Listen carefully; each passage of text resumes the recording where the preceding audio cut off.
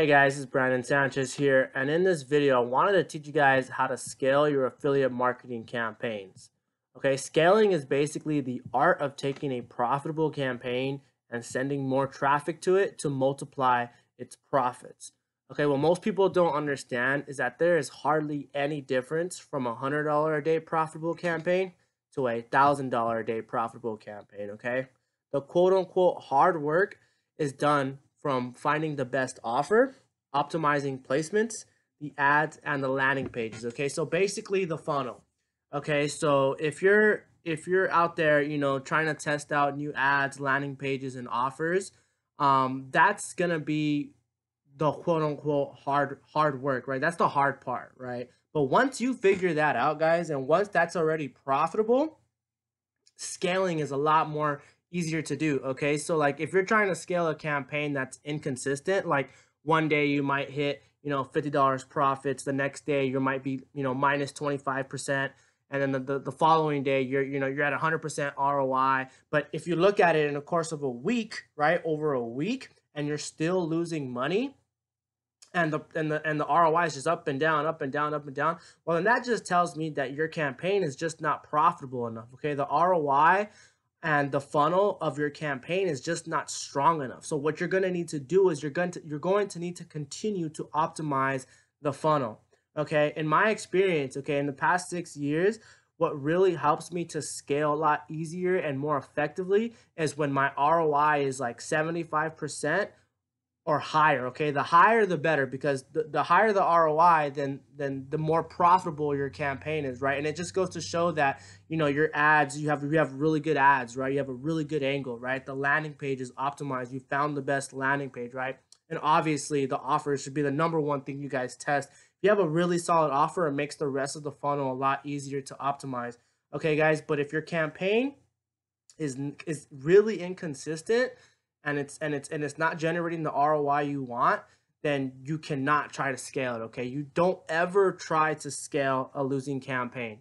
Okay, and the reason why is because your your your funnel is just not strong enough, guys. And I know we all want to just, you know, we get a we get a profitable day, you know, bells are ringing, you know, it's Christmas time already, but it doesn't work that way. We have to see how it how it reacts in a course of a week and then judge your ROI based on that data.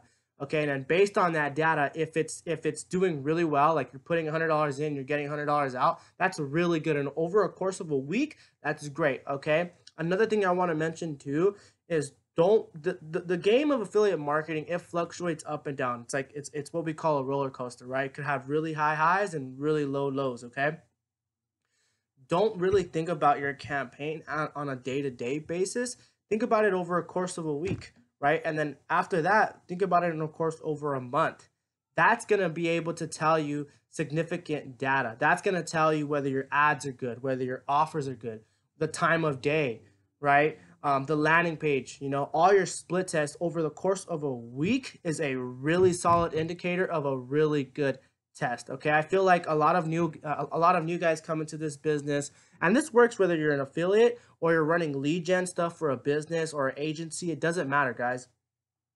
Split testing and optimization is is is is essential before you start scaling. Okay, because if you do not have that mastered, then scaling is going to be very very difficult, and you might quit because you just don't know what you're doing. It guys, you have to have a, a campaign that's consistent over a period of time, not one day, two days, three days. I'm talking about it over a week and over a month. Okay, if you can get that, it's gonna make scaling a lot, lot easier. Okay, so like I said before, don't ever try to scale a losing campaign. Okay.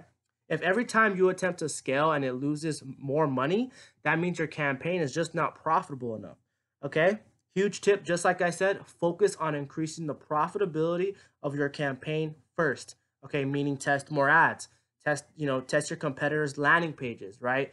Test more offers right? If you're testing an offer that's that's on different affiliate networks split test the offers because just by split testing an offer from a different affiliate network it can have better epcs and better conversion rates okay? If your campaign is very inconsistent it's just because your funnel is not strong enough okay? Keep on trying to focus on increasing the profitability of your funnel before attempting to to to use the tactics that I'm mentioning to scale right now, okay? Once the campaign is 50 to 100% ROI and is actually consistent, try broadening up the traffic. Okay, so only attempt to scale when you're 50 to 100% ROI um, profitability. Okay, if it's not there and it's and it and it's less, then it's most likely if you attempt to scale, it's gonna lose money. Okay, the higher the ROI, the easier it is to scale, guys. Okay. so once the campaign is consistently profitable, pour over the profitable funnel. Okay, when I mean a funnel, will be will refer to as the ads, the angle, the lander, and the offer. Okay, and attempt to scale by one, increase the bids. Okay, uh, increasing bids is a really great uh, thing you can do just to see if you can get more impressions, and uh, and you want us to make sure that you're getting more impressions, and and that when you increase the bids, that you're able to actually get more clicks, more impressions. You know, hopefully the CT, usually the CTR will improve, but the whole thing is the impressions, guys. If you if you if you increase the bids, check and see how much more impressions you're getting, and if you can get more traffic on the placements that are already converting for you, that's a really great indicator and then that'll allow you to convert more, right? Spend more and convert more, okay? That's the first thing to do, okay? The second thing is to test more placements, widgets, sites, okay? And just be aware that when you guys do do this and you're testing brand new traffic, make sure you know you you kind of you kind of you know keep a keep a set mind that you know when you do start testing new new placements, new widgets, not all of them are gonna work. Okay, so so be sure to block what doesn't work and then obviously keep what does. Okay, kind of kind of keep a really really close eye on the placements that are just not performing and block them immediately so that way you guys don't hurt your profits. Okay. So the third thing to do, test more geos if your offer takes worldwide traffic, right? So let's just say you're running in the UK, right? But then you could take traffic in Australia, you know, United States, right? I would test one at a time. Don't test a billion. Don't test like five at a time because then some of those geos might bomb and you won't you won't get the results you want. Okay, so test one at a time. Test this and, and test it with the same exact funnel, the, the, the same exact funnel, right? The ads, the lander, and the offer, and the same exact placements. The only thing that's going to be different is the geo. Okay, because you don't want to ever throw in different variables in a campaign because if you do that, you're going to get lost in your own sauce, is what I call it, and you might just destroy the campaign. So test one variable at a time when you're attempting to scale. All right, guys, I hope that makes sense. So four, test more devices, right? If you're running on mobile, you know, take the same funnel and put it on tablet, right? Put it on desktop, right? Whichever performs the best, keep it. Whatever sucks, just pause it. Simple as that, guys.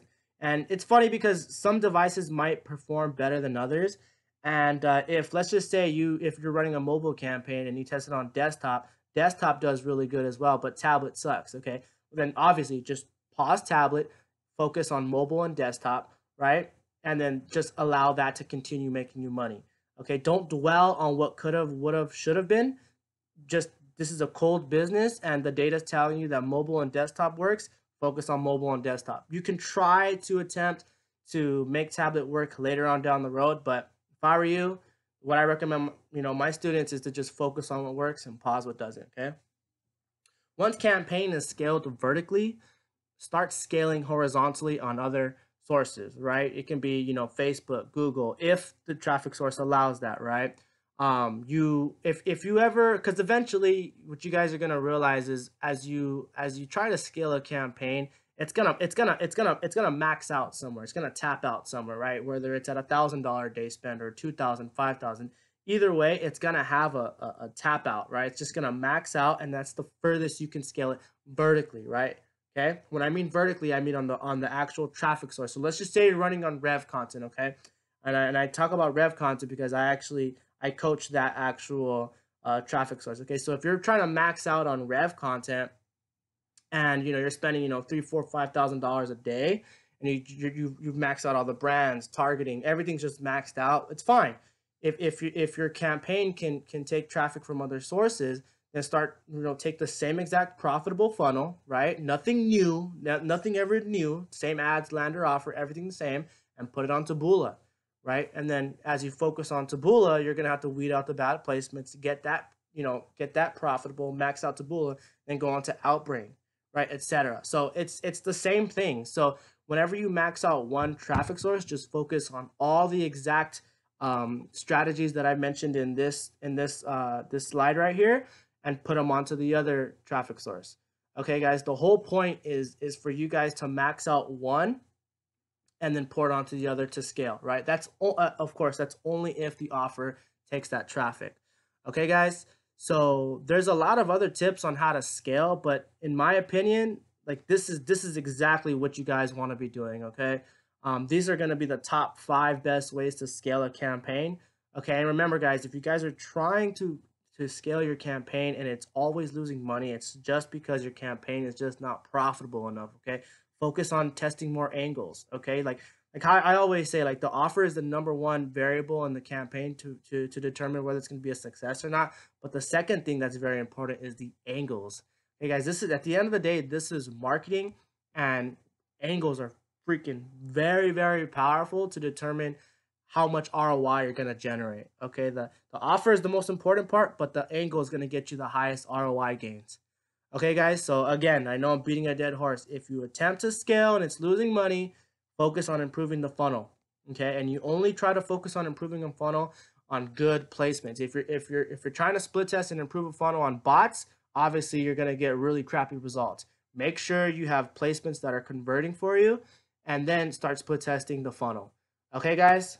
I hope that makes sense, guys. I'm I'm I'm really laying it all out for here for you. I really want you guys to learn how to scale effectively and make money because there's so much money out there to be made for all of us that we just got to be able to learn how to optimize, split test, and scale campaigns. Okay, guys, so that's all I got for you today on how to scale. Um, by the time you're watching this, I will be having a course out on Revcontent. I will be having another course out on affiliate marketing mastery. Um, I'm gonna have them in the description below. So if you watch this and the and the courses are not in there, just follow back through uh, later on, and the courses will be in the description below, guys. Okay. Um, I go I'll go way more in depth on how to scale, optimization, split testing, and you know whatever it is else you guys may need. I'm gonna be putting a lot of time and effort. I'm actually working on it right now to be generate to to create a, a course for you guys to be able to you know consistently generate you know wildly profitable campaigns over and over. Okay, guys, so once again, this is Branden Sanchez. Please like, comment, and subscribe, and I will see you on the next video.